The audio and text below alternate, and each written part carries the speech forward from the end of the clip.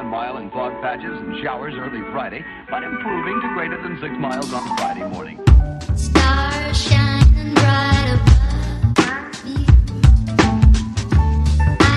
Breezes seem to whisper.